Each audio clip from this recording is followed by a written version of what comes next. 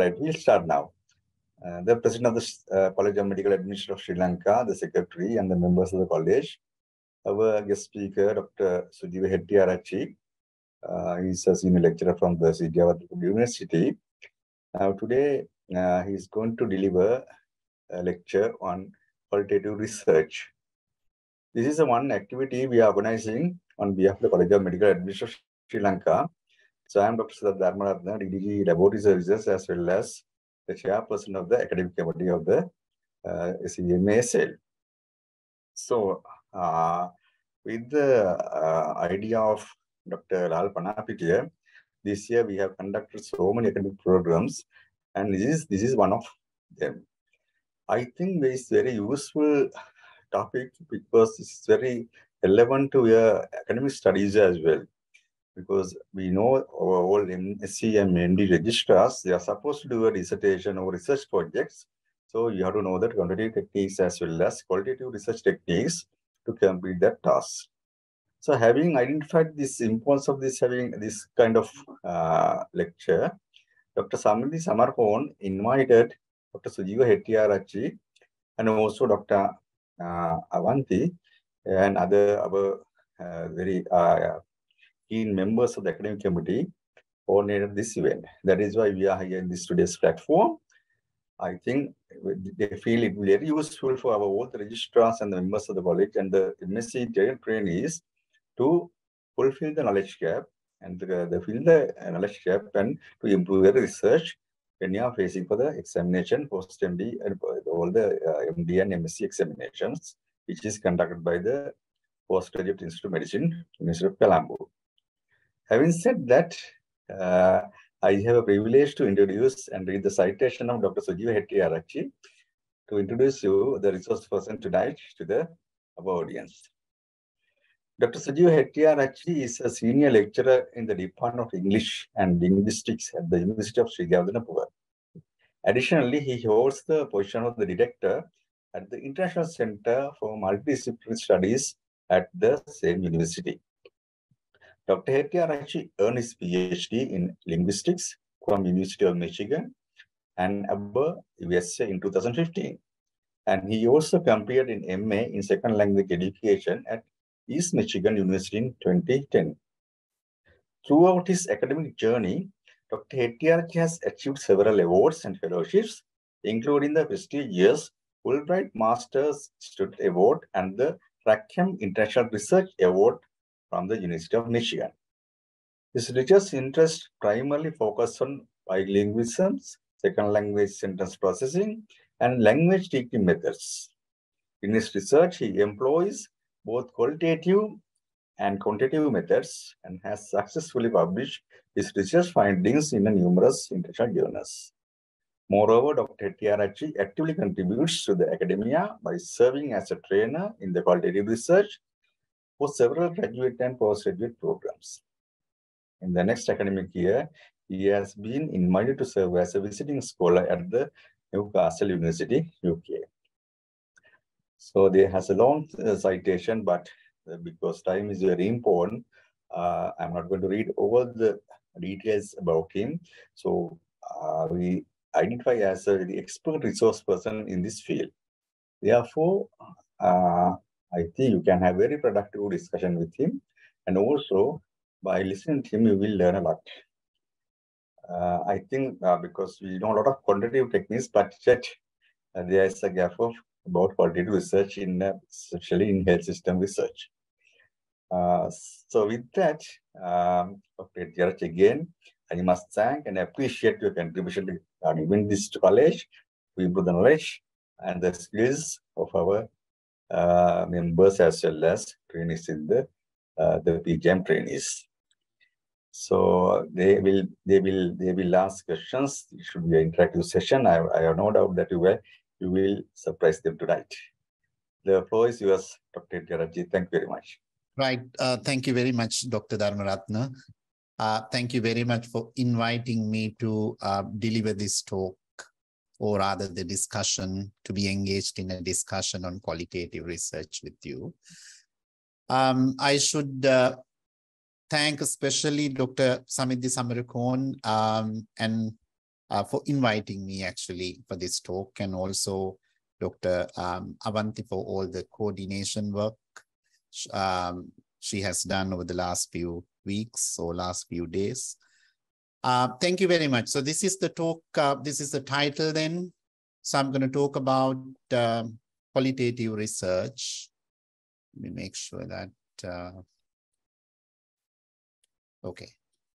Right, so it's um, titled as Beyond the Numbers, Unlocking the Hidden Depths of Qualitative Research. So let's see uh, what we can know, what, what we can actually get from qualitative research into the field of um, health research or how we can use qualitative research in health, health related research or qualitative methods rather. So this is the outline of the talk or the discussion. Um, we will spend a few minutes first understanding what we mean by qualitative research or coming out with a definition of qualitative research and discussing the key characteristics of qualitative research. Um, well, I'm not going to spend a lot of time talking about the philosophy and all, but key characteristics in during this section. And then we are going to look at and explore the main research designs of qualitative research. So qualitative research is an umbrella term. So there are many different types of qualitative research people undertake. So in this section, so we will look at different types of qualitative research. Or in terms of designs, so what does qualitative research offer us? And then um, qualitative research process. How do we collect data? So how do we design a study? How do we collect data? How do we analyze data? How do we select a sample? How do we re uh, report the results? So some of these, these things, um, as time permits, we will discuss these things under qualitative research, research process. And also from time to time, I will bring in some published research, qualitative research from um, health research. Um, I actually spent some time looking at some qualitative research that is done uh, in health sciences. So I'll bring that in as well. So you can look at those as examples if you would like to design a study on your own. Right. Well, um, so this is the kind of the background for the study then. Um, I mean, the talk, well, we all know we undertake research to generate new knowledge. The goal of research is to generate new knowledge. So how do we generate new knowledge? In order to generate new knowledge, so we have two different paradigms or two different approaches to research. Um, so these are generally called paradigms of research or approaches to uh, research or methodologies. So we have quantitative research and qualitative research. Well, quantitative research is um, generally based on um, positivism. So we call it positivist paradigm. So what do we mean by positivism? And what is positivist paradigm? Well, quantitative research is based on the assumption that um, there is a reality in the world that can be uncovered or that can be investigated objectively through research. So realists or positivists take the view that what research does is to uncover an existing reality. So there is a, there is a reality in the world. And what is the job of the researcher? So the job of the researcher is to uncover that reality, explore that reality. So how is the researcher expected to do that? Using objective methods. So using objective methods, the researcher according to the positivist paradigm, tries to uncover the existing reality. So some of the key terms of quantitative research then is objectivity. Right. And here, as this says, this means that the researcher needs to be detached from the research as possible and use methods that maximize objectivity and minimize the involvement of the researcher in the research. So subjectivity is something that we try to do away with in quantitative research. So that is so that is why we use objective measurements in quantitative research in labs um, or when we do statistical analysis so that objectivity is actually preserved. Well, um, even when we conduct a survey, so we would we would use a use an instrument for collecting data in an objective manner. Now, qualitative research basically is based on a different philosophy. So what is the philosophy behind qualitative research? Reality is not out there to be objectively and dispassionately observed by us. So dispassionately here means basically without the involvement of the emotions, but is at least in part constructed by us and by our observation. So the reality is not something that can be observed in an objective manner. That is the philosophy behind qualitative research. So we are part of this reality. We are constructing this reality. So how do we construct this reality?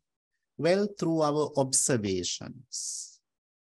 By collecting data, we construct the reality. So um, I'm not going to talk about this philosophy behind quantitative and qualitative research in detail because the time doesn't permit that. But we need to understand that.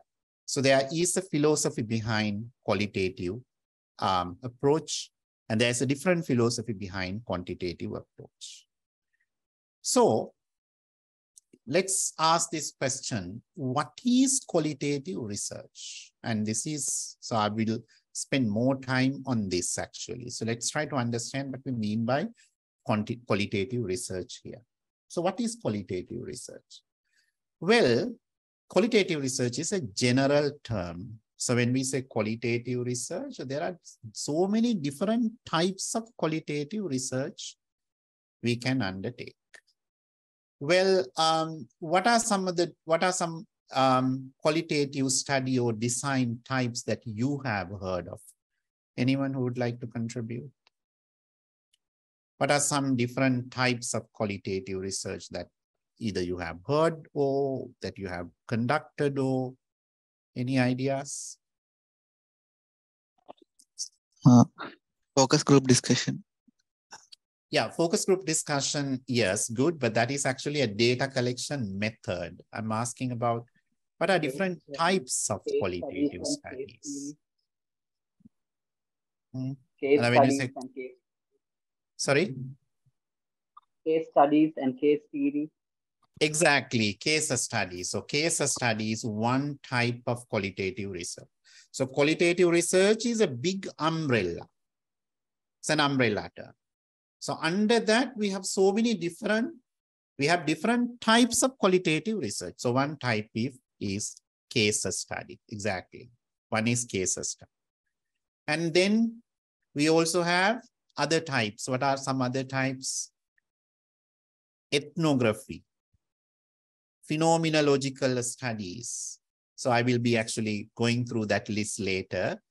Phenomenological studies, um, case studies, grounded theory studies, action research studies, and also content analysis.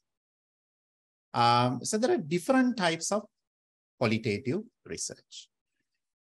So it's a it's it's a general term in that sense. When we say qualitative research, it can mean any of these study types or designs it's a way of knowing. So it's a way of generating knowledge in which a researcher gathers, organizes, and interprets information obtained from humans using his or her eyes and ears as filters.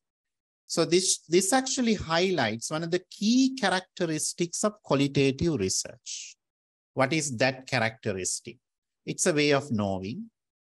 Well, it is a way of generating new knowledge. How do we generate new knowledge in this uh, case?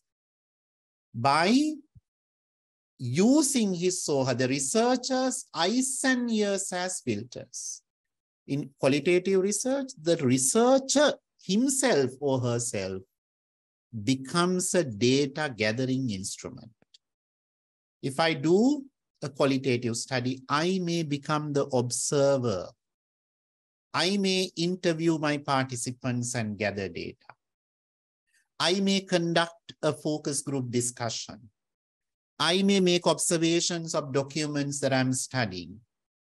So researcher is using his or her eyes and ears as filters. So this is a key characteristic of qualitative research. And then, so researcher's involvement is very heavy in qualitative research. So the researcher is unlike in quantitative, in quantitative research, the researcher is trying to stay away from the study as much as possible. So that's what we mean by objectivity. We are using objective tools, but here the researcher himself or herself becomes a tool. And then it often involves in-depth interviews and observations of humans in natural and social settings. There are two other characteristics of qualitative research this sentence highlights. Number one, the most common method of data analysis or data collection in qualitative research is in-depth interviews. An in-depth interview is actually an interview which is long and it is not a very short interview like even in quantitative research, we may conduct sometimes interviews. We may go out with the questionnaire and ask the, ask the questions on that. Even that can be considered, a, considered an interview. But that is a structured interview. So we have a questionnaire and we ask the participant all the questions and we mark or take down what we want. But in in-depth interview, so you sit down with so if your participant is a patient, you would sit, sit down with the patient. You would ask questions and you try to elicit long responses, very long responses. And once you have conducted the interview, you may end up having, once you have transcribed the interview, you may end up having maybe 20 pages, 60 pages, 100 pages. So depending on how long the interview had been. And then observations. The second com most common method is observations. You go and observe what is happening. So those are the two most common methods of data collection in qualitative research. And third, the next point, where do we do all this? In natural and social settings. Qualitative research cannot take place inside a lab. So it is society that becomes the lab in your study. So you have to go to the natural setting. So if you want to study the patients in the waiting room, so you have to see them in the waiting room. Their interactions, like, and all the th everything that you can see, observe. So they should be observed in the natural setting. And if you want to study a community, you have to go to that community and see the characteristics, features, interactions in that community. So in education research, when we conduct qualitative research, we go to the classroom and make observations. So it has to be, data has to be collected in the natural setting. This cannot be done, done in a lab. This cannot be done in a lab. It can be contrasted with quantitative research, which relies heavily on hypothesis testing. So this definition, so this, sent, this part of the definition highlights another characteristic of qualitative research. So what is that? Well, um, so this is something which is different. So this is one feature, one characteristic which makes it different or distinct from quantitative research. which relies heavily on hypothesis testing. Now, quantitative research heavily relies on hypothesis testing. So when we conduct a quantitative study, what do we do? We study a theory, we look at a theory. And from the, based on the theory, we generate hypotheses for testing. We write down hypotheses for testing. So quantitative research is alternatively known as hypothesis testing, right? So we introduce quantitative research as hypothesis testing because we generate hypotheses and based on theories or a theory, we may test, we may generate testable hypotheses and we may design a study to test those hypotheses, collect data, analyze, and we determine whether the hypothesis is supported or not. So that is what we do in quantitative research. But in qualitative research, there is nothing called hypothesis testing. Or cause and effect and statistical analysis, that is not something that we do in qualitative research.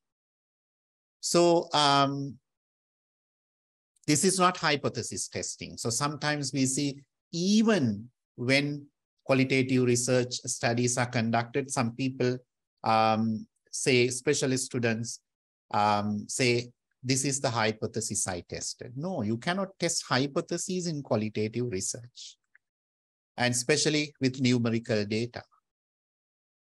So these are, so this definition highlights some of the key characteristics of qualitative research in that sense. Okay, so I'll move on and then I'll give the opportunity if you have any questions to raise. So I will also go through this and highlight because it is very important to understand what we mean by qualitative research to begin with. And also we need to understand how qualitative research is different from quantitative research. Otherwise, what can happen is when we, when we start designing a qualitative research, we bring in some elements of quantitative research. We, we don't know how, because we don't know how these two are distinct or different. And that should not happen. Qualitative research is qualitative research. So when we use qualitative research, so we have to adhere to the principles of qualitative research. So if it is quantitative, well, of course, we have to adhere to the principles of qualitative research. And then um, this says qualitative research is an exploratory and in-depth approach to studying phenomena. Well, what is a pheno? What is so phenomena is the plural of phenomenon. So what is a phenomenon? A phenomenon is anything that we can study in research. Anything that we study. Interaction, for example, doctor-patient interaction. Interaction is a phenomenon. Treatment can be a phenomenon. So anything that we study in a research can be considered a phenomenon. So any discipline has its own phenomena. For example, in sociology, we have um, interaction, relationship as a phenomenon. In psychology, we have anxiety, which is a phenomenon. Motivation is a phenomenon. Um, so whatever we study is the phenomenon in research. Then in qualitative research, we try to provide an in-depth exploration of the phenomena. So the goal of qualitative research is to obtain or provide an in-depth investigation. It aims to understand the richness and complexity of a particular subject or phenomenon through non-numerical data. So this also highlights another characteristic. So it's non-numerical. Data gathered through observations, data gathered through interviews, data gathered from documents, focus group discussions, verbal data, visual data. So this can be our data. It's not numerical data. Researchers collect data in the form of words, images, videos, or observations. So in qualitative research, the emphasis is on gaining insights into the experiences, attitudes, perceptions, and behaviors of individuals or groups. So this is the goal of qualitative research then. In qualitative research, so what are we trying to do? So we emphasize on gaining insights into the experiences, experiences of people, attitudes, their perceptions, behaviors, and can be these characteristics of individual individuals or groups. So researchers often look for patterns. So when we observe these, when we collect data on people's experiences, attitudes, perceptions, behaviors. So what do we do when we analyze? Well, we look for patterns. We look for themes. Um, we look for recurring concepts within the data to form a comprehensive understanding of the phenomenon being studied. So this is what we do when we analyze, we look for patterns, recurring patterns. So if it is a patient, uh, doctor-patient interaction, recurring patterns. So who is asking questions? Who is ask, answering questions? How many times does the doctor ask questions? How many times does the patient ask questions? So this, this, these, this, there's when we analyze this, we can see a pattern, themes, recurring concepts. So this is what we are looking for when we analyze a data set. So we do that. And why do we do that? To obtain or to provide a comprehensive understanding of the phenomenon being studied. So, um, so there are many characteristics that of qualitative research that I have highlighted in these two definitions. And I said at the beginning, or a few minutes ago, that when we do use qualitative research, we need to know how it is different from quantitative research. Um, what is what are we trying to do when we undertake a qualitative study? How is it different from quantitative research? Otherwise, well, we, some, we see we begin to see some elements of quantitative research in qualitative studies. And when this happens, people get criticized, maybe if it is a dissertation in the Viva, I mean, if it is a paper that is going to be published, reviewers may have issues with it. Um, they may say, well, this is a qualitative study, but why have you used quantitative sampling methods? Um, you have you're, you are claiming it to be a qualitative study. Why have you quantified your data? So these are some of the questions people ask. So when we do not see the distinction between qualitative or when we don't understand the distinction between qualitative and quantitative research clearly. So the nature of reality that we try to explore in qualitative research and quantitative research. So this, these two paradigms are different in terms of the nature of reality that we try to explore. This is what I talked about under, under the philosophy very briefly. So there is a reality that can be objectively investigated, okay, explored, and that is that is the philosophy or the assumption behind quantitative research. Reality is something constructed by the participation, with the participation of the researcher. And that is the approach taken in qualitative research. And then what is the goal, purpose of qualitative research? Well, the goal or the purpose of qualitative research is to provide a deep understanding, comprehensive understanding of a phenomenon of the phenomenon that we study is interaction. So what we try to do is to provide an in-depth understanding. It's not a superficial one. We are not trying to quantify it. So we try to provide a deep understanding. So when our goal is digging deeper into the concept and explore its complexity, we use qualitative research. And then in terms of the type of data collected, well, we have already talked about this. Um, this is almost like a summary of what we have talked up to this point. Type of data collected. Well, in quantitative research, we use numerical data. In qualitative research, we use verbal data. It can be visual data. It can be documents that we have collected. So it's not numerical data, it's non-numerical data. And then objectivity and subjectivity. So we have highlighted this as well as a characteristic. So objectivity is a principle highly valued in quantitative research. So you have to be objective. You have to use instruments. Um, researcher has to be detached from the study. That is what we try to do in, in a quantitative study. So we try to detach ourselves from the study as much as possible. Otherwise, we call it researcher bias, right?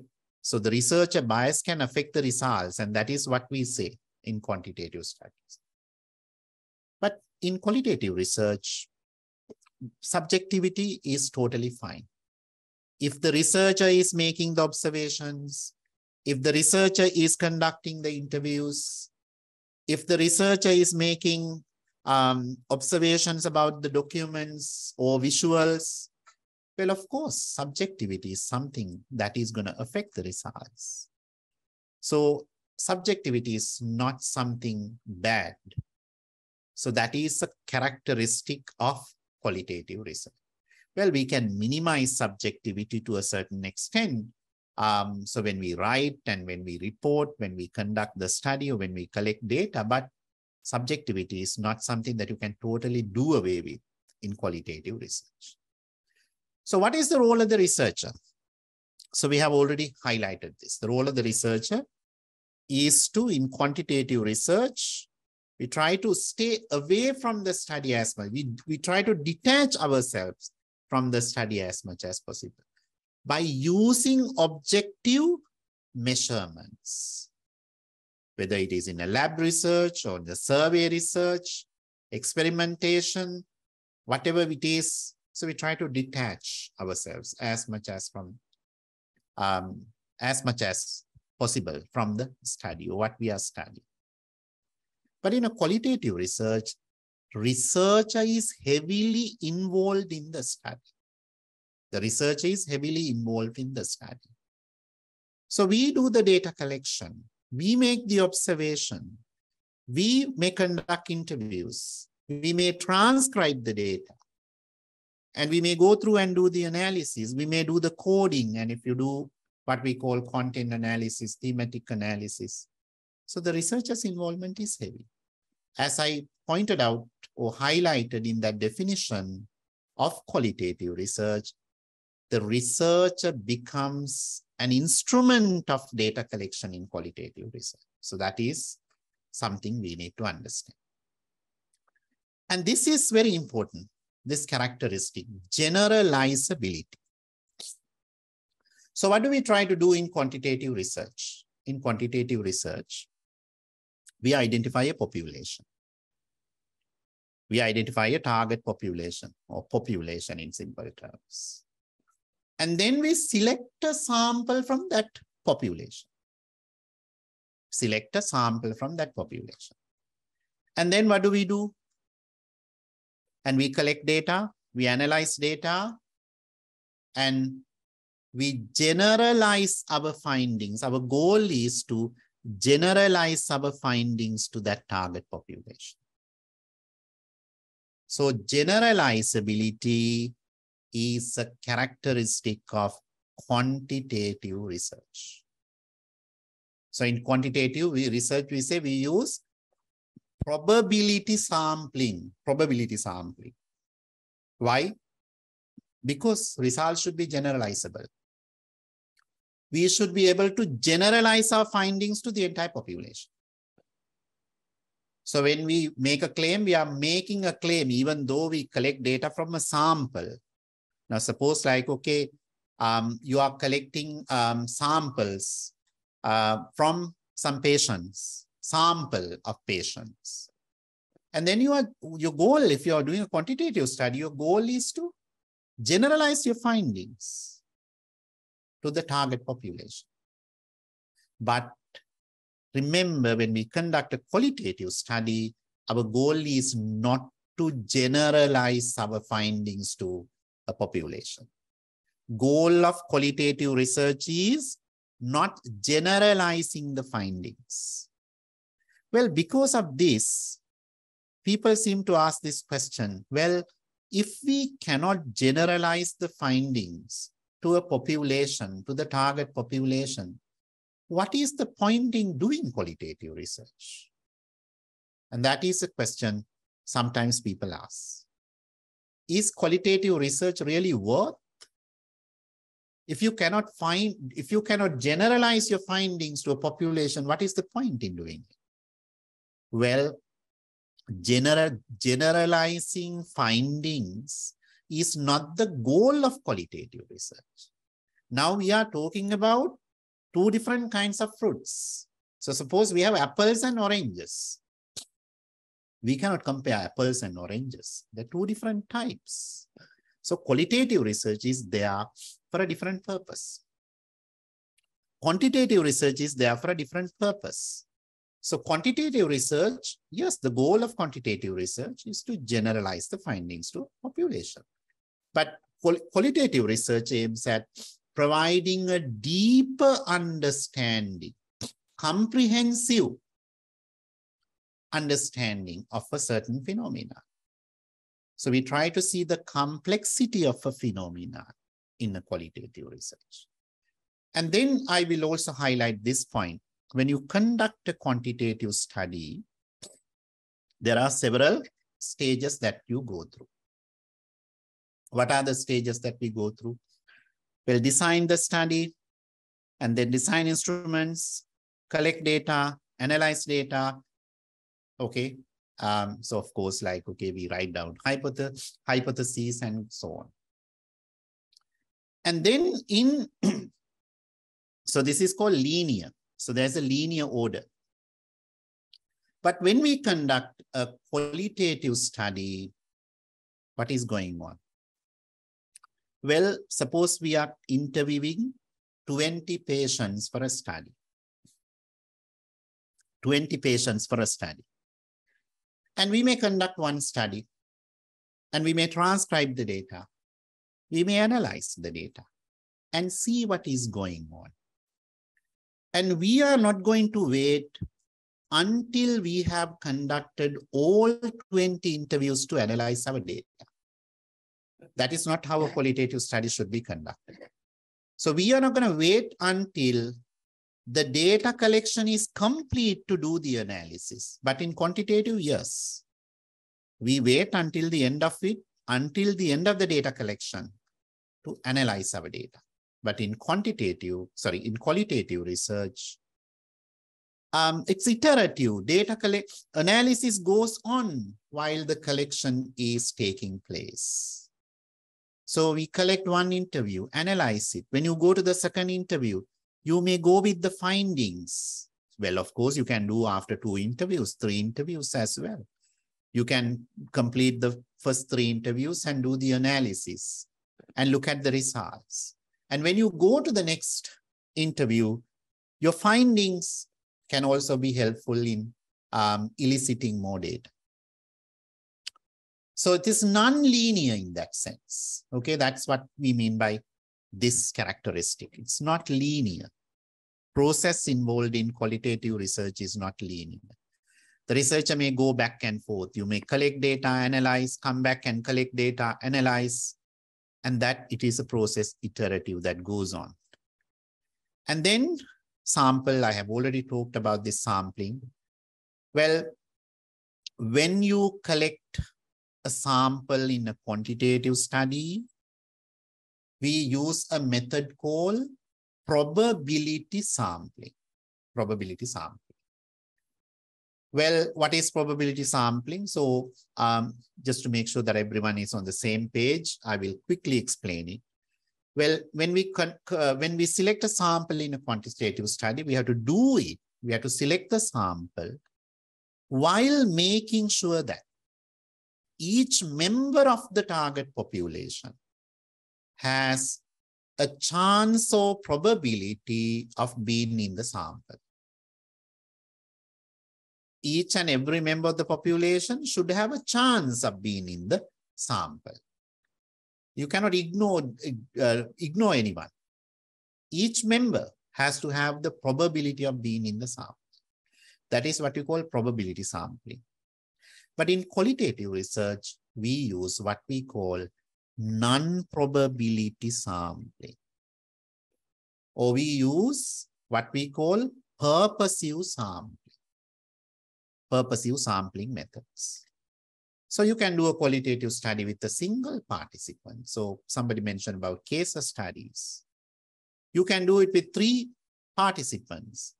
You can select the participants who are from your own clinic.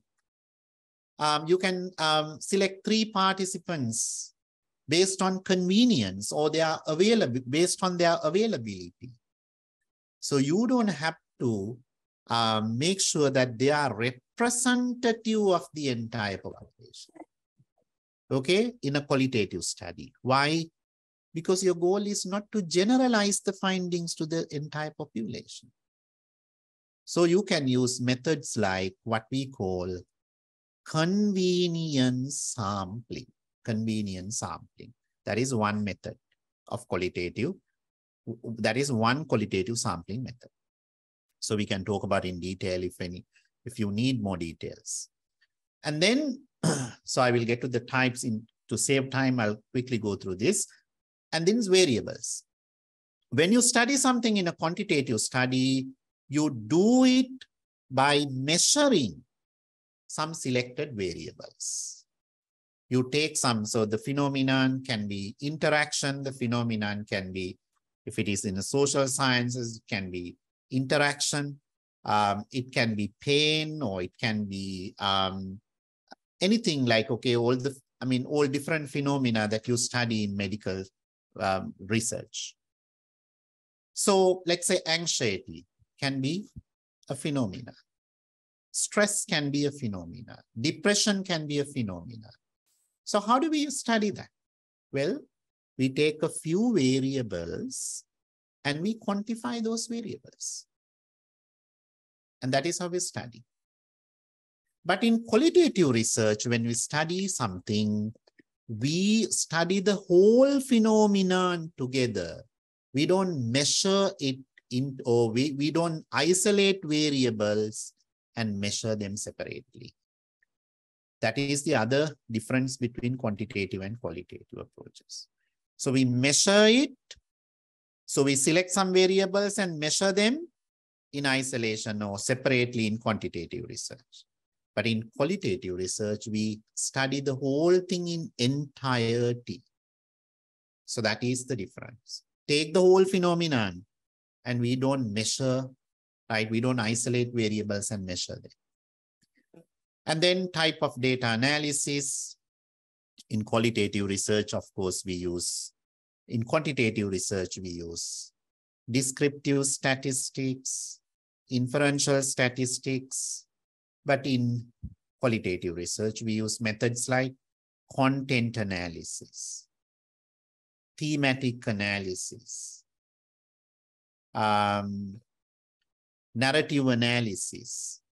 So those are some of the methods we use in qualitative data analysis. And then, of course, the writing styles are different. So when qualitative paper is different from a quantitative paper. And um, so, in terms of some of the stylistic features, the way we report results, okay, um, and how long a paper is, how a paper is structured. In terms of all those features, qualitative papers are different from quantitative papers. So I have talked about these key characteristic differences between qualitative and quantitative research. So is there anything that you would like to ask? So anything that you would like to add or anything that you would like to contribute with? So anything is any, any contribution is welcome. So any anything that is not clear or any comments that you would like to make? Yes. Go ahead if you have any questions. So if it is a uh, uh, a few uh, people that uh, that is a population, uh, then you have to take them uh, all, I think. But if it is a larger group, then uh, it is uh, possible, as you said, to uh, do a convenient sampling and uh, in your convenience. Like, I mean, uh, with the facilities available, you can uh, uh, select them at your uh, own will and uh, interview them, sir. You mean in a in a qualitative study? Yes, sir. Yeah, sure. Yes. Well, if it is a small, yeah, small population, well, if you can, you can do some focus group discussions. And is there a uh, limit? I mean, is there a, uh limit to the? Is there a definition for the numbers of uh, participants that you should include? Sir? Say that No, there you is have no a group of uh, 50 or 60 uh, population. no, no, Uh, there is so no how much do you need to take? No, there is no fixed number like that. There are some principles that we deter use to determine the sample size in a qualitative study. And if you have heard about this is one principle is the saturation principle. Okay. Um, so uh, well, we keep on conducting interviews, and if we conduct interviews, we keep on conducting interviews. And then so when it comes to some point, suppose like, okay, I conduct two interviews, three interviews, suppose I'm interested in anxiety or depression, and I keep on um, conducting interviews. And when I get to the fifth interview, sixth interview, or the seventh interview, I feel, well, there's no any new data that is coming. No matter how many people I interview, I seem to get the same thing. So we consider that as the saturation point. So beyond, there's no point in conducting interviews beyond that point, except leaving out the individual differences. Um, we seem to be getting the same thing. So that is generally used in as uh, that is called saturation principle. So that is used to determine the sample size in a study. Other than that, there's no fixed number that we have to take in a qualitative study. So then, isn't there a risk of uh, us interviewing uh, like a biased group? Like, uh, if you're not careful, you might uh, gather uh, certain uh, kinds of people that may come up with the same type of uh, responses, so that Hmm. you'll be missing uh, the big picture. Well, um, if you use the saturation principle, so there's it is less likely to happen, right? So when you when you come across like okay, suppose you interview someone for 15 minutes and you find out it's the same thing, and you may move to um, someone else, um, and and you may like okay try at someone else. Um, so well, yes, but since our goal is not to generalize our findings, even even if that happens, um, so it is not a big issue. People report those results even uh, because those are individual experiences. Uh, but if you try to generate a theory, now, for example, there is a type called, there's a design called grounded theory. But if you, if you want to develop a theory like that, of course, saturation is very important. So you have to keep on interviewing until it, you make sure that the saturation has actually happened. But otherwise, even then, like if you take a single person, of course, then you are getting only the perspective of a single one, right? So um, yeah, so in qualitative research, you have that flexibility. Thank you, sir. Yeah so any other questions, any comments, anything you want to ask?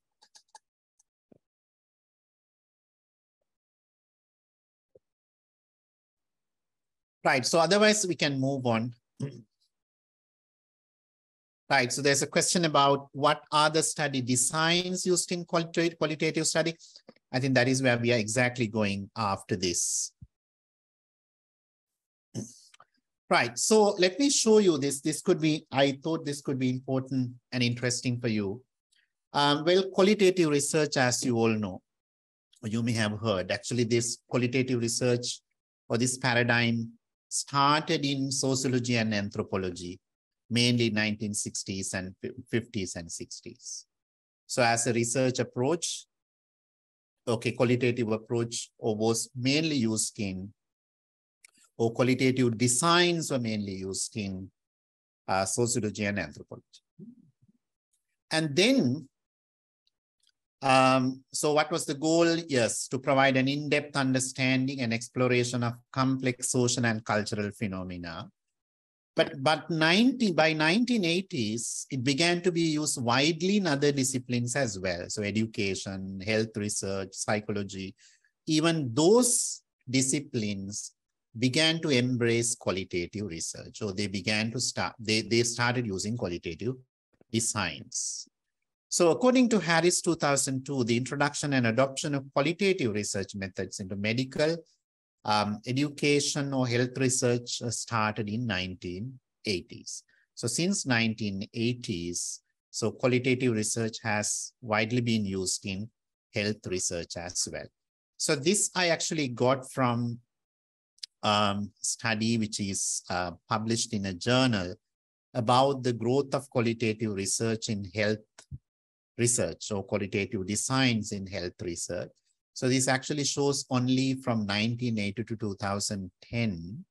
Um, so you can see how this has growth. So this is data derived from, obtained from Medline, which is a popular database that has um, millions of research papers on uh, medicine, nursing, pharmacy, dentistry, veterinary science, and healthcare. So covering many key journals, top ranked, high, highly ranked journals. So this is how qualitative research has actually grown in the field. So this is making a huge contribution to the field. So, but this is actually um, only till 2010. Um, so there are many journals which are actually dedicated for qualitative research in health sciences.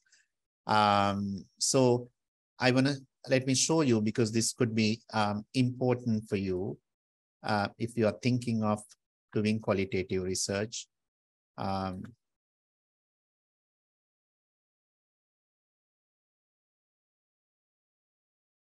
show you this journal.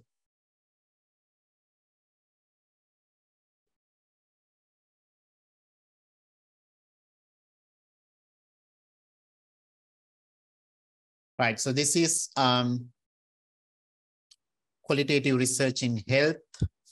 Um, so this is a journal that publishes only qualitative studies. So you can actually find, if you want to find qualitative studies, this is a good place to look at. Um, it is a recent one, but it's actually published by Elsevier, one of the leading, as you all may know, one of the leading publishers in the world. And then, um, so this is another um, study. Sorry, this is another journal actually, um, which is older than this one. And it is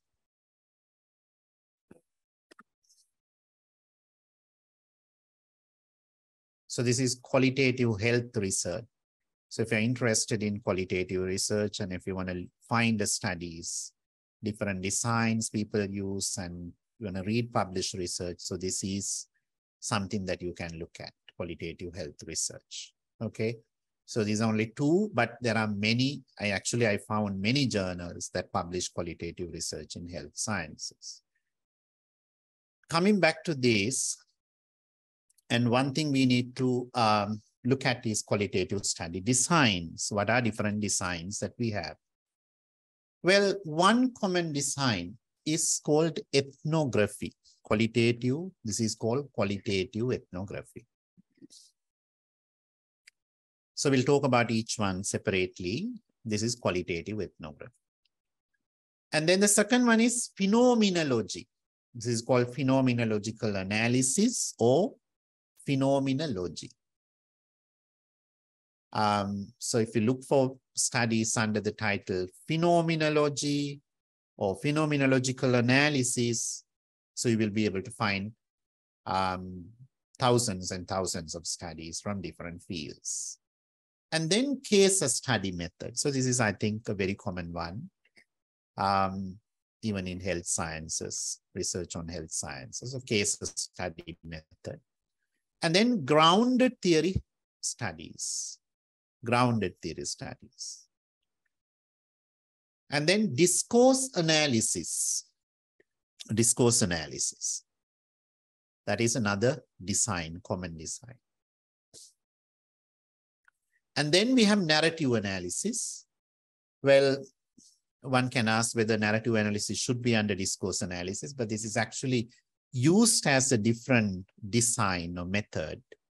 Um, this is collecting narratives, maybe, let's say, patients' narratives, okay, narratives of patients, um, narratives of people, um, like in different situations, contexts.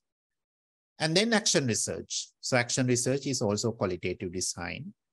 Um, so we may not be able to talk about all these, but I will actually talk about a few of these, the main types.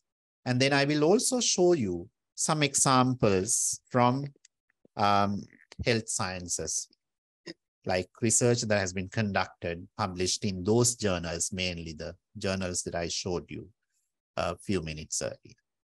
And there are also other qualitative methods. So those are actually, I mean, people who study literature, when they analyze literature, when they analyze history books, people do history, um, they use, there are different methods, qualitative methods that they use as well.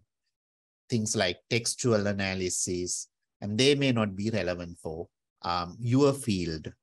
So I left them out. So these are some of the study designs, common researcher designs that you can use for your okay research as well.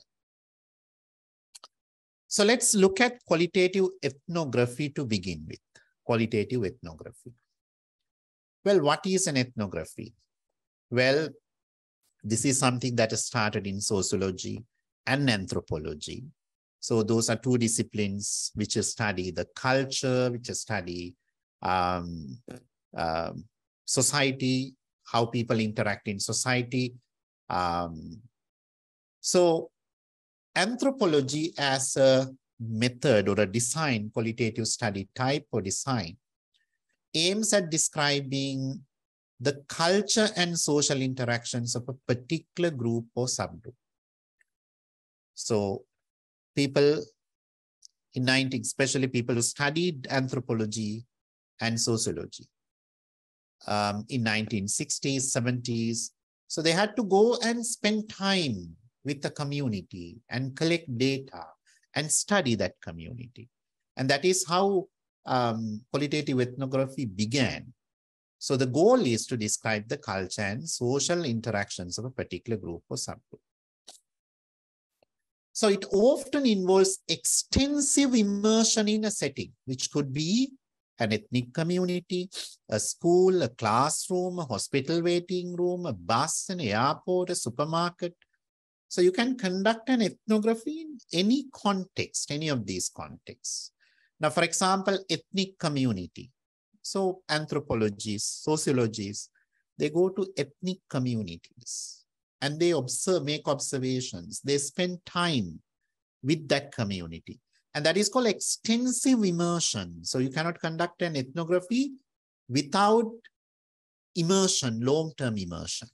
So immersion means the sense you go and spend time, you go and live with that community.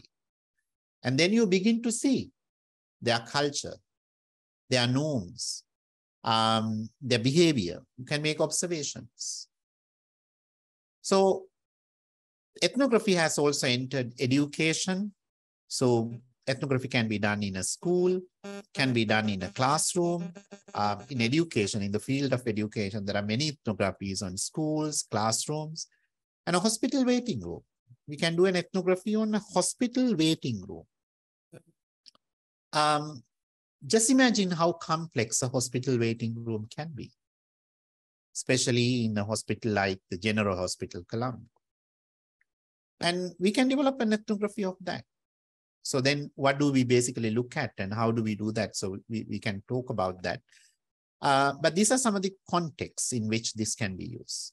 So I'm saying it can be used in a bus even. You can do an ethnography of a bus. A bus doesn't mean here buses that we actually ride on like on high level road.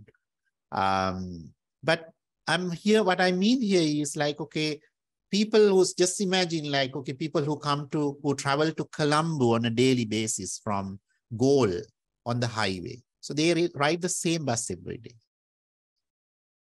and they meet the same people in that bus. So there's a kind of a community that in, in that bus.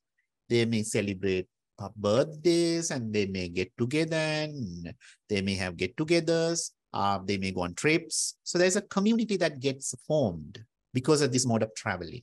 So that's that's that's a community in that sense, in that bus. So in airport, supermarket, so ethnographies are used in all different, in all these settings. So ethnography was first used by anthropologists, as I mentioned earlier, mainly Malinowski and Boas. So they were the first sociologists or anthropologists to use um, ethnography. Um, so since 1980s, it has been widely used in field of education. So it requires extensive field work. What do we mean by extensive field work? If you want to study a community, you should be prepared to go and spend time with that community. Stem, uh, uh, uh, spend time with that community. Long-term immersion. So ethnography is extremely time consuming. It's not easy to do now. If you want to do, if you want to develop an ethnography of a hospital waiting rooms, you should be prepared to spend hours and hours there um, until you have collected enough data to make observations, or making observations, interviewing different people, um, and maybe collecting documents, uh, relevant documents, so data can come from various sources. So long periods of time in the field. So we should be prepared to spend time. So ethnographies in that sense are longitudinal studies that conducted over a long period of time. Now, showing you some examples. So these are very famous ethnographies in the world. Now, this um, uh, the person who is here, so this is Daniel Everett, and he's a professor in uh, linguistics, actually, in one of the universities in um, Chicago. Um, so in 1970s, when he graduated from this University of Chicago, I mean, uh, when he graduated, when he, after his PhD, um, he went to um, one of the communities in Piraha. So this is actually uh, a book that he has written about the Piraha community in the Amazon. Piraha is a community living in the Amazon. So he went to Piraha and his job was to learn the Piraha language because he was actually a linguist by training. And he uh, was employed by a missionary company and his job was to learn Piraha and translate the Bible into Piraha and he went there. He learned Piraha language. When he spent time, so it was a long-term immersion, so he had to spend months and months there learning the language. And then after some time, he lost the interest in translating the Bible into Piraha. And he decided to do an ethnography. He developed an ethnography of the entire uh, ethnography of this community. And that is what we call Don't Sleep, There Are Snakes, Life and Language in the Amazonian Jungle. So from time to time, he had spent around 10 years in the Amazon. So maybe three months per year. So he would go and spend there. He make observations, he collect data from various sources, and he developed this ethnography. So this has been translated into around like 25 languages in the world. So this is a well-written ethnography of a community. So this is an example of a, of an ethnography of an anthropologist or a linguist or a sociologist. And then, so this is another one um, developed by Srinivas uh, about a village in India. Um, so even though ethnography started like this, so this has, this is, there are, there are different types of ethnographies people do nowadays. So um, let me show you some examples of ethnographies from um, the field of medical sciences. So this is something that I found. This is a study that I found from one of the journals that I showed you. So published by um, Elsevier. So this is um, Right. So this is about um, the dynamics of breast cancer screening approaches in urban India, an ethnographic study from Delhi. So this is a combined study conducted by um, some researchers in the USA and India. So, so this is an ethnographic study. Um, so I'll make it bigger so that you can see the abstract here.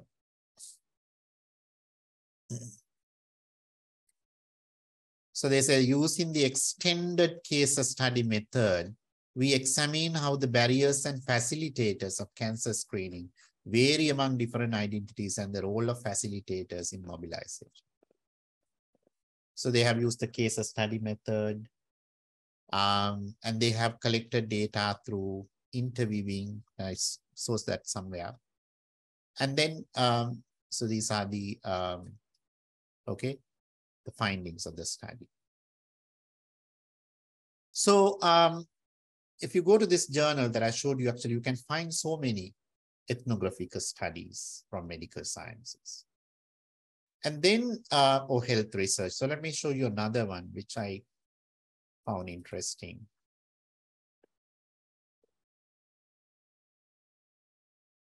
So this is coming from a journal called, once again, Qualitative Health Research.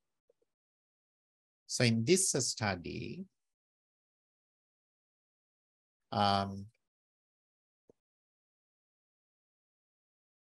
so hope you can see that. Um, and then facilitation of person-centered approach in health assessment of patients with chronic pain, an ethnographic study.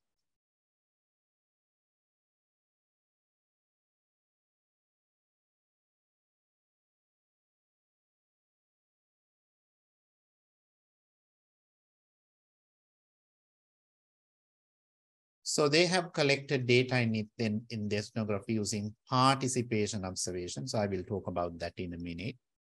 And they have used interviews. And they analyze data using what we call thematic analysis. And also I will talk about this um, in a few minutes, okay? Thematic analysis. Data came from participant observation and um, interviews. And these are the main findings, summary of the main findings. So this is about to, so right, once again, another ethnographic study. So this design can be used, has commonly been used in health research as well. And then um, Okay, so there are different types of ethnographies actually, field ethnographies, photo ethnographies, digital ethnographies, autoethnographies, meta-ethnographies. So if you're interested in ethnographic research, so you should read a bit about these different types. Um, and then you can um, choose the best one or the one that suits your suits best for your own study. Um, right. And the other or the second qualitative type or the design that I talk about is phenomenological analysis. So this is also called quali qualitative phenomenology or phenomenological analysis. Um, so what is the goal of phenomenological analysis? To describe and understand the lived experiences of individuals who have experienced a particular phenomenon or situation. So basically what we do in phenomenological analysis is we're interested, we explore the experience of individuals. We are interested in exploring the experience of an individual. Lived experiences, experience also, right? Um, that the person has gone through. So popular in fields such as psychology, education, nursing research. So there are many studies published um, on uh, many phenomenological studies published in these fields. So maybe lived experience of sexual harassment, a natural disaster, or a family with a kidney patient. So these are some examples like, okay, some, I took these from actually studies which are already published. So um, what we do in phenomenology or in phenomenological studies is to try to explore experience of participants. So the primary method of data collection used in phenomenology is in-depth interviews or conversations. In-depth interviews or conversations. So qualitative interviews are different, as I said at the beginning. So they have to be in-depth, long, and we try to explore the complexity. So we, we should be prepared to spend more time with the participant. In addition, researchers may also collect data from diaries, drawings, through observation, um, any sources that we can use, okay? Collect data from diaries. If the person has maintained a diary, and if there are drawings, um, well, if there's a diagnosis card, so that, um, and observations, all these sources can be um, sources of data. So let me also show you some examples from okay health sciences. Published research.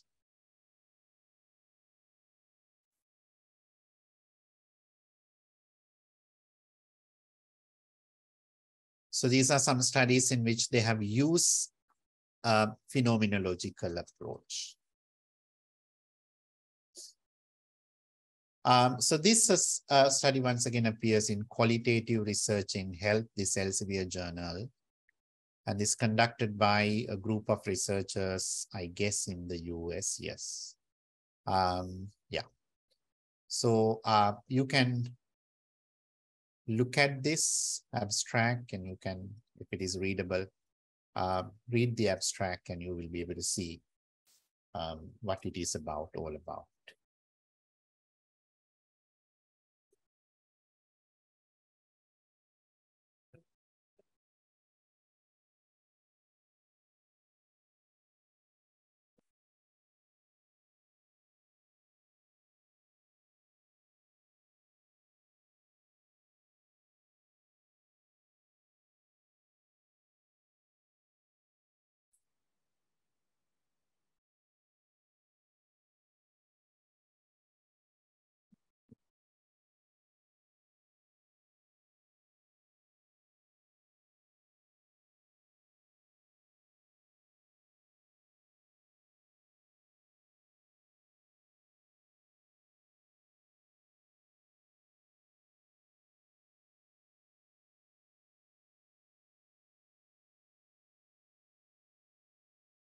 Right, so they have used semi-structured interviews with 19 IHCA survivors, right? Um, and conducted to better understand their recovery experiences. So this is, I mean, they haven't used the term phenomenology, but if it is lived experiences that the researcher explores, it becomes a phenomenological study. And here then thematic analysis. So that is qualitative data, data analysis method, a common method. Okay. So we derive themes from the data set step by step. Um, so that method has been used. So um, this is an example of a phenomenological study then. Uh, let me give you another, show you another study once again, a phenomenological study conducted in um, health research.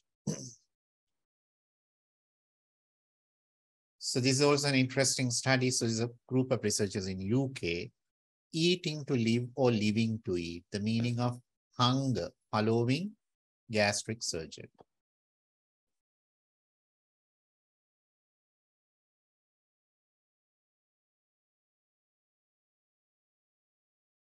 So you can go through the go through the abstract and see what uh, they have done in this study.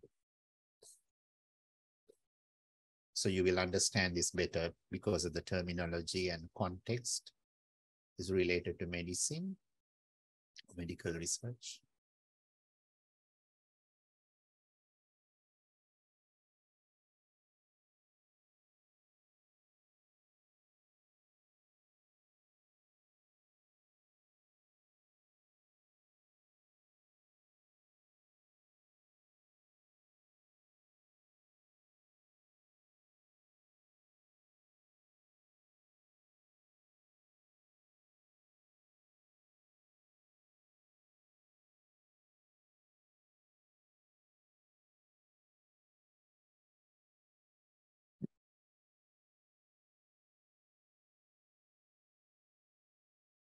Right. So um, what are the data collection methods they have used? You can see here the goal of the study is mentioned.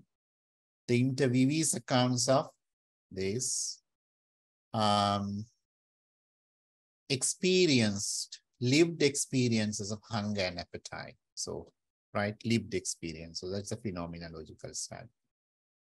And then they have used uh, interviewing and uh, once again, um, thematic analysis. So they have analyzed data using thematic analysis and the main findings are given. So this is another example of like a phenomenological study. So there are many examples of studies that you can actually find, okay? So I will skip and go through. And the next is case study, the next design. So, so far we have talked about two define two designs. One is ethnography, and then we have talked about phenomenology, which explores the experience. So researchers are interested in the experience uh, or experiences of individuals, and then case study. It's a common method once again used. So what is a case study? It's a strategy for doing research which involves an empirical investigation of a particular contemporary phenomena within its real life context using multiple sources of evidence. A particular contemporary phenomena, well, what can become a case? So we can study um, a certain phenomenon, or we can study, our case can be a concept or a phenomenon, or case can be a person. Um, or a few people actually. Uh, investigation of a contemporary, particular contemporary phenomenon with its real life context. So it has to be in the natural context. A investigation has to happen in a natural context. What is the goal? To provide a specific and detailed study, in-depth investigation of a case or cases. So once again, the goal of a case study is to provide an in-depth investigation, a complex, uh, so we try to see uh, the complexity of it. It's an in-depth investigation. So we generate data from multiple sources, maybe through observations, maybe through observations of various documents. Now, if it is a patient, okay, um, various documents, reports, um, and observations, other observ possible observations, um, interviews. So all these sources of data can be used in case study. So case can be entity, any entity, such as a special education, can be case can be a classroom, case can be a situation, case can be a study program, case can be a person, okay? Case can be a um, teacher or a learner or a family, community, anything can be considered case in that sense.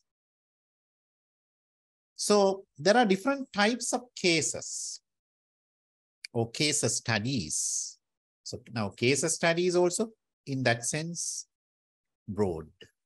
So we can conduct individual case studies. Um, and then we can combine a few individual case studies and, and see and do it uh, as a set of individual studies. We can study a community. Uh, we can study an organization, institution. Well, uh, a ward in a hospital can be a case study.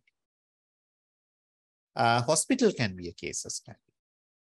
Um, a patient can be a case study. The treatment of a particular patient can be a case study. And there are case studies, so many case studies like that.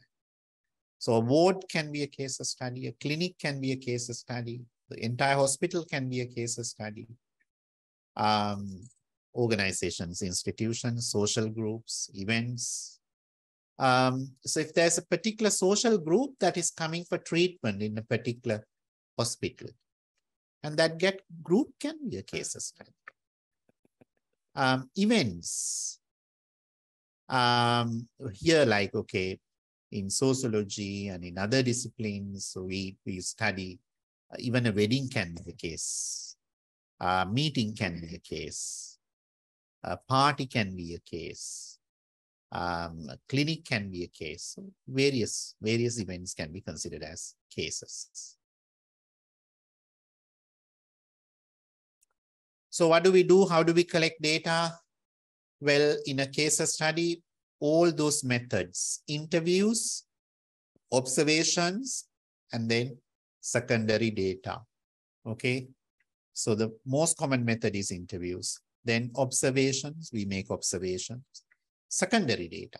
Secondary data is basically like any reports that the person has, um, any documents can be considered secondary data. Secondary data is data which is not directly collected with the involvement of the researcher. That is, that, that is, that is generated for another purpose. For example, diagnosis card can be used for research purposes, but it is not actually generated for research purposes. It is for something else like that. So then let me talk uh, very briefly though about grounded theory as well. Well, grounded theory is um, another type of qualitative research. What happens in this method or this design is we try to develop a new theory through the collection and analysis of data about a certain phenomenon. Okay, so we collect data, analyze data, and we develop a theory based on our data. A theory emerges from data on a certain phenomena. Theory is emerging from the data, and that is what is called grounded. So there's a theory which is grounded in data. And that is why we call it grounded theory.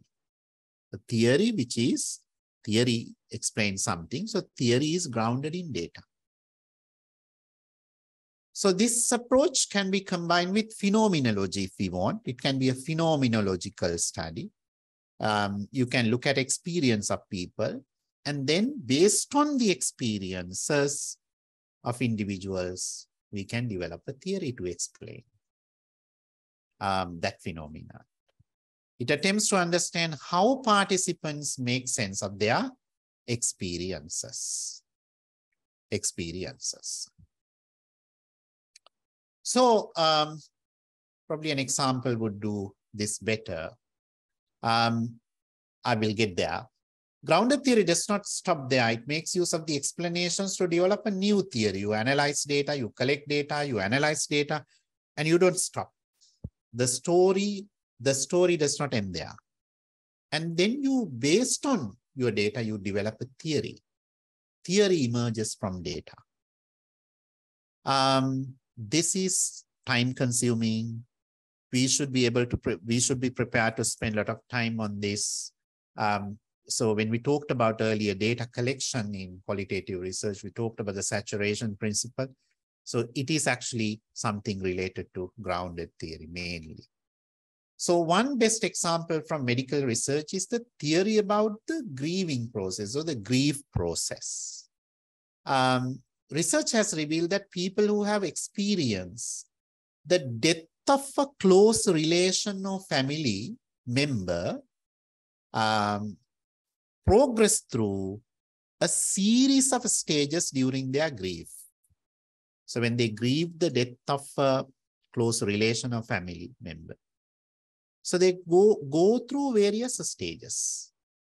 And how do we know this? Well, we know this because of research or grounded theory studies people have conducted. Well, what are the stages that people go through generally? So this is now there is a theory about it. And this theory comes from grounded theory. I mean, grounded theory research. So the first stage people go through, so this is kind of like a grieving cycle.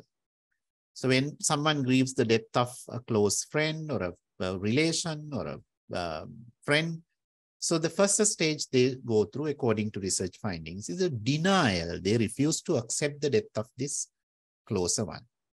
So maybe there are people who are actually familiar with this and um, here already.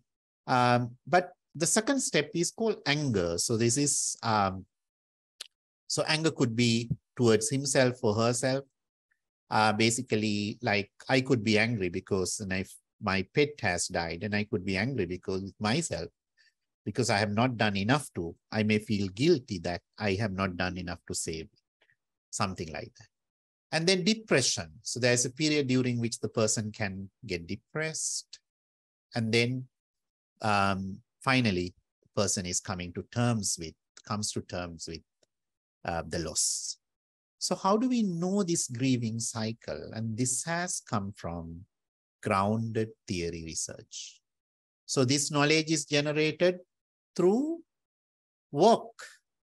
Um, so the how so this theory has been developed based on data collected from maybe many different participants. People have lost someone, okay, close in their life. So the researchers must have interviewed these people um, over and over again, maybe same person. So the same person has to be interviewed when we develop a theory like this at different intervals. Maybe um, few weeks after the loss or maybe immediately after the loss, few weeks after the loss and so on, few months after the loss. So data collection is generally done in a grounded theory study using interviews and observations. Um, data collection analysis proceed concurrently. So this is something I highlighted at the beginning as well. In a qualitative study, you don't wait until the study is completed or the data collection is completed to analyze your data. In a quantitative study, we generally analyze our data after the data collection. But in a qualitative study, data collection, data analysis should happen concurrently, simultaneously. You collect data, you may go through it, analyze. When you go to the next interview, you have an analysis. You know the findings, at least roughly. And then that can also contribute to your interview, the second interview, and third interview, fourth interview. So it goes on like that. And then, right. So this is uh, grounded theory studies. So now, since we are, um, right. So it has been one and a half hours almost. So I'll quickly show this one as well, narrative analysis. Um, so what is a narrative analysis? So here, um, let me show you an example of a narrative analysis from, uh, uh, once again, published in one of the journals, Qualitative Research on Health Sciences. And then this way help, help you understand this better.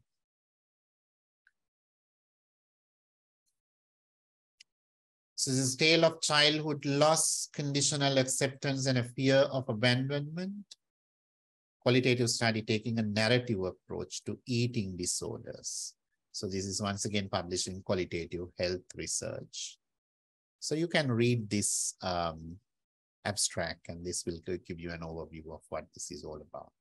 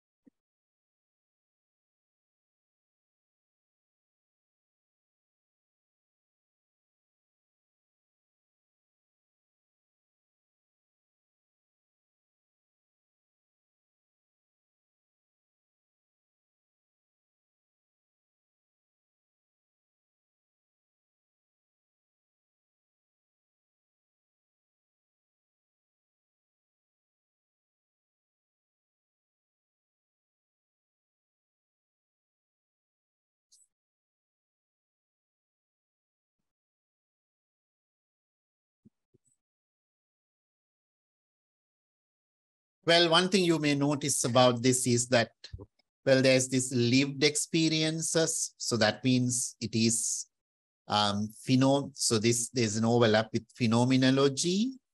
Um, but this is mainly a narrative. So in narrative analysis, what we do is we generate narratives. We generate narratives. What is a narrative? Well, narrative is a story. So each person, each participant has a narrative or a story to tell. So as medical practitioners, you know that better. So each patient you get has a narrative, has a story to tell. And if you allow the person to tell the story, that person would go on and on. So has a story to tell. So in what we're interested in narrative analysis is actually we explore these narratives. Um, we get them to tell their story. So it can be either about themselves or a set of events, can be about their illness, um, anything, depending on the focus of the study. So instead of looking for themes that emerge from an account, it concentrates on the sequential unfolding of someone's story. So how is how does the story unfold? How does it get told? Um, so we are looking at that organization, sequential unfolding as well. So um, in narrative analysis, we are interested in summary, stories people have got to say. Well, sometimes you may say that those stories are like experiences. Well, um, narrative is not always, um, it's not confined to experiences. It could be different. So that is why there's a different design or tradition called narrative analysis. And there's another design which is commonly used in medical um, or health related research, and that is discourse analysis. So discourse analysis has commonly been used in fields such as, um, let's say, sociology, linguistics, um, mass communication in fields like those. But this is used, this has been used in medical research as well, health research as well. Discourse refers to actual language in use, encompassing all forms of spoken or written communication.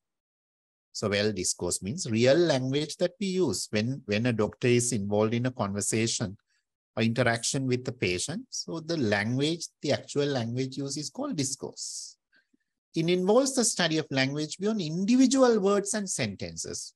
We are not looking at words, sentence, sentences, but discourse as a whole.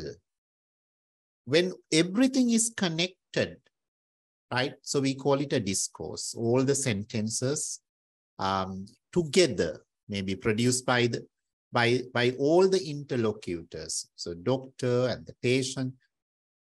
Uh, so the patient may um, ask, answer a question, doctor may ask a question. Everything together is called a discourse, focusing on how language functions in different contexts and social interactions.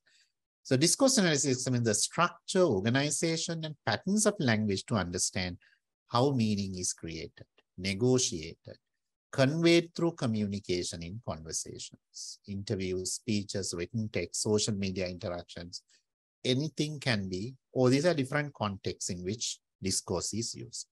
So um, let me give you some examples, show you some examples um, from health-related research. Conversation analysis has widely been used in health research to explore, explore doctor-patient interaction. So an important review of this line of research is provided in um, so these articles. And if anyone is interested in that, um, let me um, show you an example of that. Um, if you are interested in this line of research, so this is um, an example.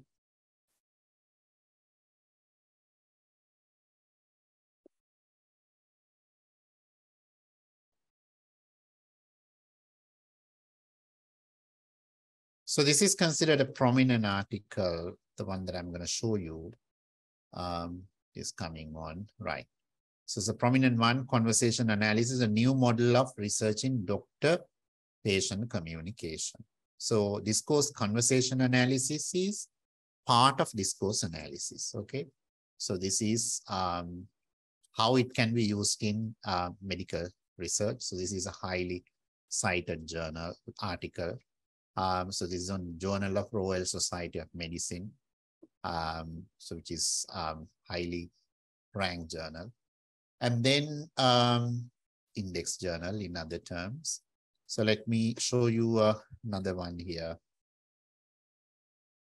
if possible.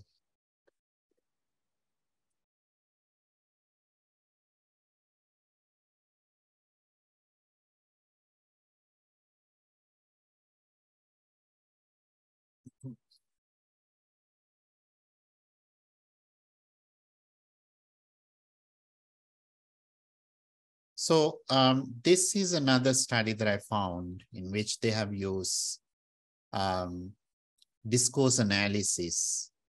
So in this one, analyzing interaction between doctors and patients in primary care encounters. Um, communication in medical care. So this is a publication by Cambridge and um, okay, it's 2009. So, so there is an article on that. So um, yeah, if you're interested in these, so there are many resources. Um, if you want to see how discourse analysis or conversation analysis is used in medical research, there are many resources. So if you want, I can um, actually send these slides as well. So if that is helpful for you to look at. Right, so those are the main designs that I'm going to talk about then. Um, so those are the main designs. So we have talked about uh, then um, many common designs, qualitative designs that we see in uh, health related research. Um, okay, ethnography, phenomenological studies, case studies, grounded theory, discourse analysis, analysis, and action research is the only thing we have a goal of solving a problem. Um, so you identify a problem and your goal is to solve that problem. And then you introduce some action, we call an intervention. And then um, there may be in this audience, uh, there may be um, people who are familiar with this method. So we introduce, uh, we change something about the situation or in that context and we see how that, what change it brings. Um, so that is basically what action research is all about, but I don't have time to um, talk about it in detail. So I think with this, um, I should open it up for the um, for you if you have any questions, comments, um, if anything is not clear, and if you want to comment on anything we've talked about. So um, I'll open it for you guys. And so you can ask any questions you have then. So we can talk about. Any questions, anything to clarify, anything to add?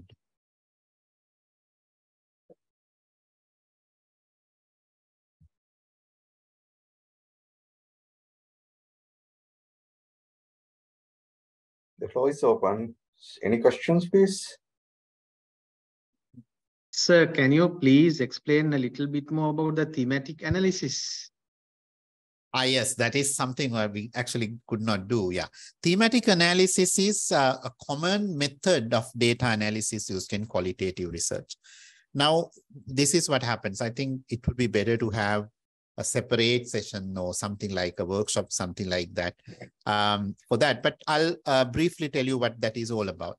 So suppose you conduct interviews. Now you have conducted an interview with the participant. So generally we must audio record the interview. Uh, without that, it's very difficult to do an analysis. You must get the you, you must get the permission, of course. Uh, we have to get the um, ethical approval and all, um, human subjects approval. And then after that, we record the interview. And then we transcribe the interview.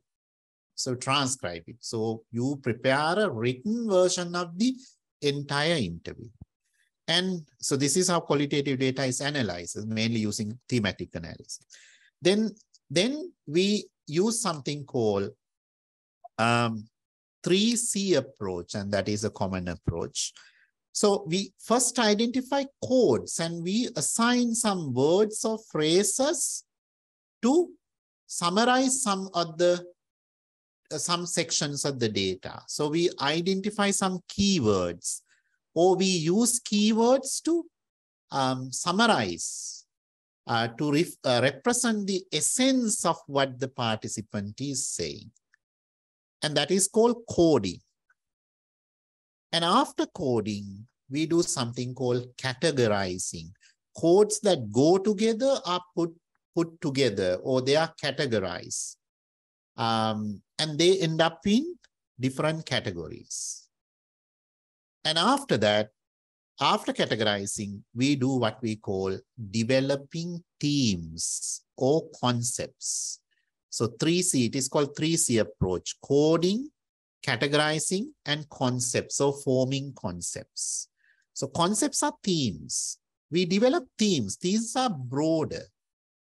Okay, start with coding. Sometimes once you have interviewed someone, when you have coded an interview, you may have around maybe 40 codes.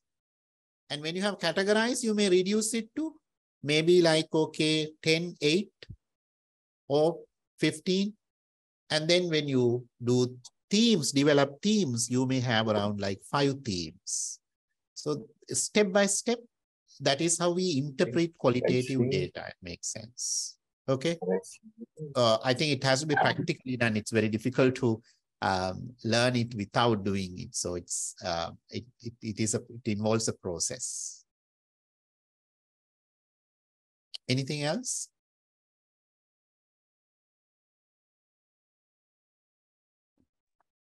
So in uh, qualitative analysis, that uh, when we are using tools, Hmm. that uh, uh, is there any differences and uh, uh, or what is uh, better to use? That is uh, when we are doing in our medical research. So you mean uh, what do you mean by tools? Is it uh, data analysis tools? Yeah. Right. Yeah, you can use um, tools like I don't know whether you have heard about the NVivo. NVivo is the most common software people use for analyzing qualitative data. Um, that can be used to um, actually generate or make sense of uh, qualitative data. So that is that is the most common one. Um, we can do it manually as well. So coding, categorizing, and forming concepts or developing themes can be done manually as well. We can do using something software like NVivo. Um, the, the good thing about it is NVivo is you can actually generate uh, nice graphics uh, of qualitative data. You can develop word clouds and you can, you can show the relationship. You can do kind of like mind maps, um, how words are related, how concepts are related. Uh, you can do nice graphics with actually um, NVivo. It is better if we can use NVivo. Um, it is not very difficult to learn how to use NVivo. Only thing is it is, uh, so license version is a uh, little expensive, but you can find versions lo available locally. Um, that is a very useful tool. Um, we can use that tool to or software to analyze qualitative data. Thank you, sir. Right. Any other questions? Anything to add, anything to ask? I guess there, there are. Yeah, so this is, there's a question about, uh, can you explain about the presentation of qualitative research? Yeah, qualitative uh, presentation means um, how results are reported, um, how a paper is um, organized. Well, um, I think this is something that we have to um, we have to go through, learn by going through papers that have been published. So when you have codes, when you have categories, when you have themes, generally we organize a paper in terms of the themes. Now, I showed you several examples, or several sample qualitative papers from health-related research. So they have organized their papers under themes. Um, then they also actually record all the codes that they have generated. These are the codes we have generated. And uh, they, if they can uh, create graphics using um, NVivo, if they use something like NVivo, they can be shown. Um, presentation is uh, something that I think we can easily learn by looking at some of the published papers. Um, it's, uh, I think, I don't think we have time to go through a paper and learn that, but I guess some that is something you can um, do on your own by looking at some papers, selected papers. Um, yeah, anything else? Now, what does uh, triangulation of qualitative data mean? Yeah, that's a very good question. Like, okay, data triangulation. So triangulation means collecting data or eliciting data from various sources. Now, for example, suppose you are developing uh, a qualitative ethnography of a hospital waiting room. Now, you can interview participants, but you're not going to rely only on interviews. You can also make observations. So you're going to triangulate your data with observations. And then you may also observations and you may collect secondary data, um, all the other sources that you, you can you have access to. So basically data triangulation is uh, verifying data collected from one source using another source or to support data collected from one source using another source. So good example is interview and observations. Don't rely only on interviewing. Use observations also. Then that can, right? So that can be used, that can triangulate your data. Yeah, I hope that is clear. Yes, thank you. Yeah. Um, any other questions? Anything to clarify or anything to ask?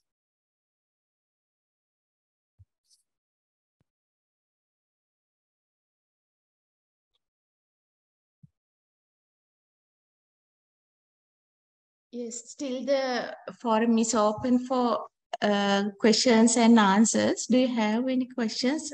If not, we can wrap up the Sujeewa now, session uh, now. again, just Dr. Sujeewa now.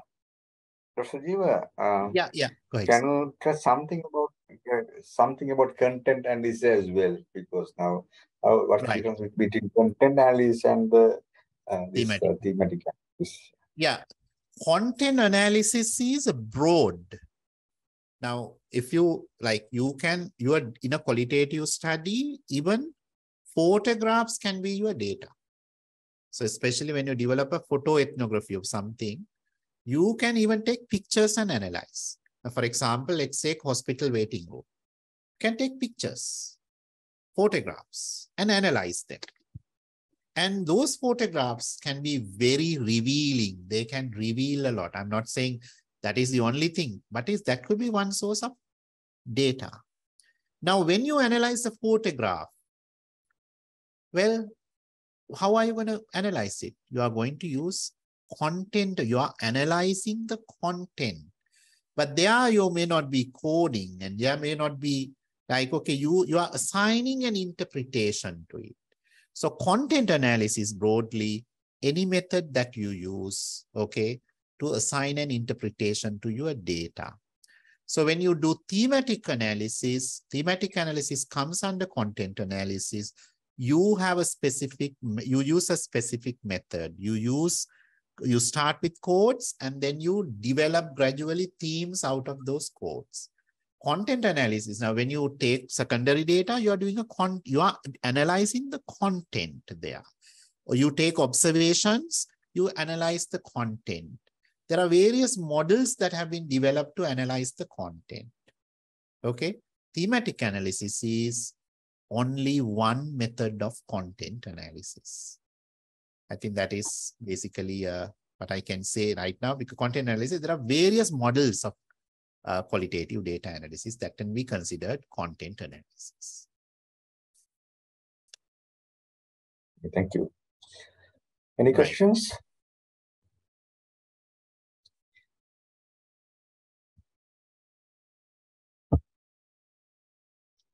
Oh, no, Sir, there's- uh, yeah. Doctor, yes, there are three questions. Ah, okay, right. Let me, Yes, let me, doc- the, yes. yes. One is like about when we transcribe in the, uh, in thematic analysis. If we interview thirty participants, do we have to write word to word or can we summarize? No, we cannot summarize. We have to transcribe the entire interview. Unfortunately, it's gonna be a lot of work, but in qualitative analysis, we have to do transcribe the entire thing. If we summarize, we can accidentally miss something. Okay, exact words of the participants should be there. And that is our data. So we are not going to dist if we summarize, we can end up distorting data. So that is something we have to be very careful about. Okay. So we cannot distort, we cannot, uh, we cannot do any damage to the data. Right. So we cannot do anything. So they should be represented as they are. So no summarizing then. Uh,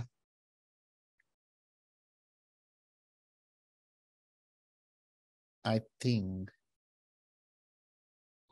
And we're asking like, could you please share the example shown to uh, refer to later? Yeah, I can certainly do that. I I can send it to uh, someone, prob- uh, probably uh, Dr. Uh, Avanti to share it with the group if they're interested in looking at those. Is that all? All the questions? Dr. Dharmaratna, so Okay, sir, one more question. Yeah, question. Dr. Sujeewa, now okay. almost nine o'clock. Yeah, only one question. Yes. Only, Yeah. only, only one, only one One question, sir. Now, uh, we know systematic review produces strong evidence, right? Uh, what are your views on systematic evidence, systematic review in qualitative studies? systematic review of qualitative studies. Yep. Um, yeah, that is done. That is possible. So there is something called, um, so I don't know whether I showed that to you. Systematic reviews uh, can be done. They are done actually even in qualitative research. Um, let me show you this. Um, right. So there is something called meta-ethnography. Now this is something uh, similar to that, meta-ethnography. So meta in meta-ethnography, what we do is synthesize findings of individual ethnographic studies to create, create new interpretations and insights.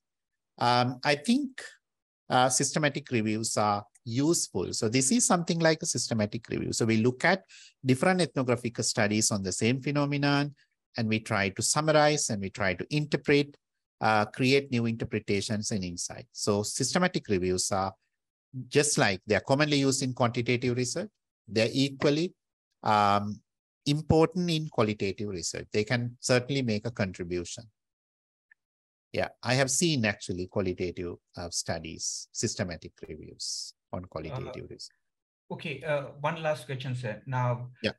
qualitative studies are subjective, right? Mm. How does this subjectivity affect systematic reviewing? Uh, subjectivity affects systematic reviewing. Yep. Um, what do you mean by that? How does it affect? Yes, now systematic reviewing, we commonly do in quantitative analysis, right? Yeah. Analysis, Because uh, we have objectivity there. Yeah. right?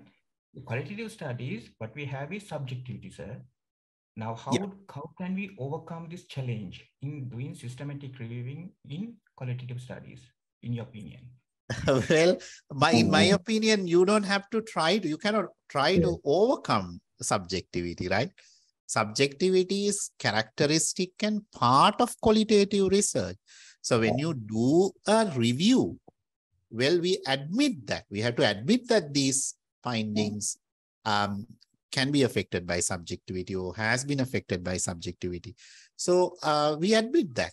Uh, we do it while admitting subjectivity. I think uh, so. Only thing is, if you look at this from the angle uh, of a quantitative research, uh, that is where the problem arises. We have to we we have to accept qualitative research as they are.